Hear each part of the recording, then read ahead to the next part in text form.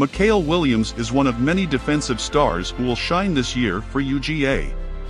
He is named to the preseason media days for All SEC First Team and watch list for the Nagurski and Lombardi Awards. Starting in two of his 15 games played, he had 28 total tackles including three quarterback sacks along with a team-high 31 quarterback hurries.